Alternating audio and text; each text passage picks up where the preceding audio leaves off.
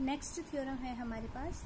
The interior of a set means A interior is the largest open subset of A हमें तीन चीज़ें proof करके दिखानी है कि ए इंटीरियर क्या होना चाहिए।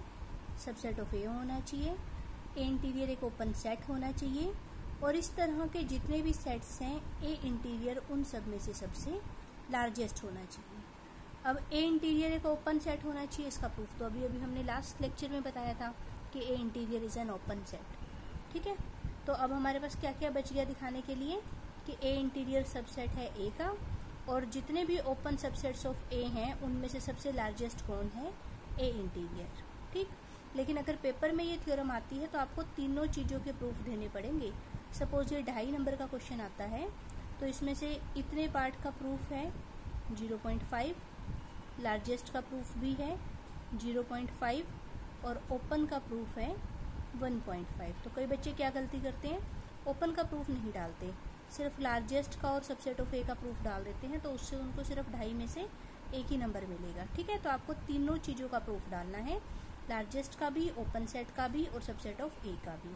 तो सबसे पहले हम प्रूफ करेंगे कि A interior is a subset of A ठीक? तो हमने सबसे पहले लिखा let A interior be the interior set of A और अब इसको हमें सबसेट दिखाना है। किसका? ए का। ए इंटीरियर को हमें सबसेट दिखाना है ए का। सबसेट दिखाने के लिए हम क्या करते हैं? यहाँ से एलिमेंट लेके चलेंगे और उसको ए में पहुँचा देंगे। तो हमने लिया let X belongs to A interior यहाँ से लिया। X belongs to A interior का मतलब X is interior point of A interior point की डेफिनेशन लगा दो। क्या होती है? There exist epsilon greater than zero such that there exists epsilon greater than 0 such that x belongs to open interval and this is a subset of a. X कहाँ जा रहे हैं? इंटरवल में। इंटरवल के सारे पॉइंट कहाँ जा रहे हैं? ए में। सो so, कुल मिलाकर x कहाँ गया? ए में। ठीक है? उठाया कहाँ से था? ए इंटीरियर में से पहुँचा कहाँ दिया? ए में। इसका मतलब ए इंटीरियर के सारे के सारे पॉइंट किसमें जा रहे हैं? ए में। So A interior is a subset of A also A interior is an open set ये हम ऑलरेडी प्रूफ कर चुके हैं, लेकिन आपको पेपर में इसको प्रूफ करके दिखाना है। तो मैं यहाँ लिख देती हूँ प्रूव इट इसका प्रूफ आपको डालना है। ठीक है? हैंस कुल मिलाकर क्या क्या प्रूफ हो गया? कि A interior is an open और सबसेट ऑफ़ ए अब हमें दिखाना है कि और जितने भी ओपन सबसेट्स ऑफ़ ए हैं, उन सब में से लार्जेस्ट कौन होना चाहिए?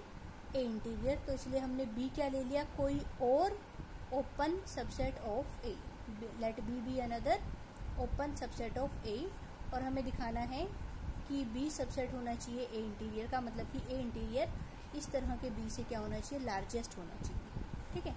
अगर बी एम्पटी है तो एम्पटी सेट तो हर किसी का सबसेट होता ही है। ठीक है? तो तो बी सबसेट हो ही जाएगा ए इंटीरियर का। दूसरा केस क्या है? अगर बी नॉन एम्पटी है तो भी हमें बी को किसका सबसेट दिखाना है? ए इंटीरियर का।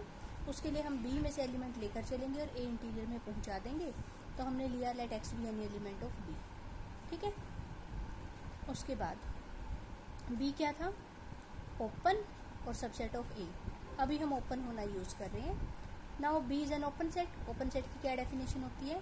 कि आप उसका कोई भी पॉइंट लो तो आपको उस पॉइंट और उस सेट के बीच में एक ओपन इंटरवल मिल जाएगा। तो thus there exist epsilon greater than zero such that आपको उस पॉइंट और उस सेट के बीच में एक ओपन इंटरवल मिल गया। ठीक है? लेकिन बी सबसेट फर्दर किसका था? ए का। But B is the subset of A इन दोनों लाइंस को कंबाइंड कर दो।